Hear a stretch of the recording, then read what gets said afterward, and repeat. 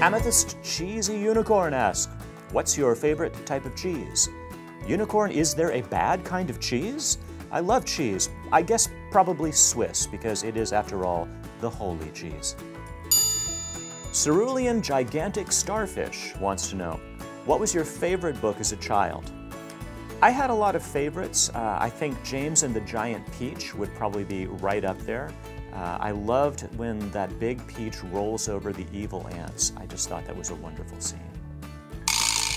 Pearl Posh Avocado asks, what is your favorite emoji? Well, I'm kind of old-fashioned when it comes to emojis. Can you be old-fashioned when it comes to emojis? Sure, why not? I like the smiley face. This one is from Topaz Dotty Tiger. I cried at Mark of Athena and Blood of Olympus. How do you connect with your reader's emotions? Well, thank you. I'm, I'm glad I made you cry. Well, I guess I'm glad I made you cry. Uh, I guess I just sort of think what would make me feel a certain emotion, and I try to impart that to the readers. And if you felt um, strongly about the characters and what happened to them, then I guess I guess I did my job. Carmine Chatty Turtle asked, "What is your favorite ice cream topping?" You know, as long as there's ice cream under the topping, I really don't care. But I do like sprinkles. Magenta Glowing Falcon asks, how long on average does it take to write one of your books? Well, Falcon, it usually takes about two months longer than I actually have. However, I do the best I can. Six months to a year, generally speaking. Peridot Bubbly Phoenix wants to know, would you rather have to sneeze, but not be able to, or have something stuck in your eye for an entire year? Oh, that's an easy one. I'm very squeamish about my eyes. Stay away from the eyes. I much rather have to sneeze. From Violet Musical Tortoise. I know there are the Heroes of Olympus books, but would you consider writing more from Percy's perspective again?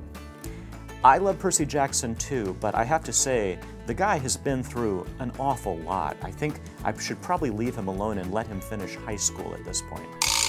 This comes from White Rocking Porpoise. If you could have any topping on a pizza, what would it be? You're implying that there are toppings other than pepperoni? I will have to look into this.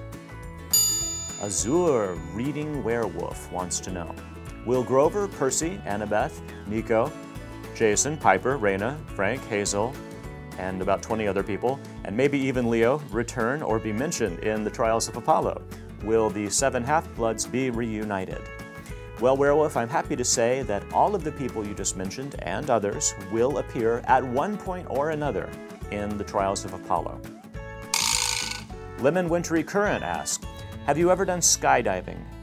Oh, dear Zeus, no. Mm -mm. Like Percy, I try to stay out of the sky as much as possible. I'm a little terrified of heights. Tanzanite Rainbow Cat says, You're my inspiration, and I just want to ask you this. What advice do you give to people who want to be an author just like you? Well, Rainbow Cat, it really boils down to three things. You need to read a lot, you need to write a lot to practice, and don't ever give up. That's probably the most important. My first book was rejected 14 times. If I'd given up after 13, I wouldn't be here today.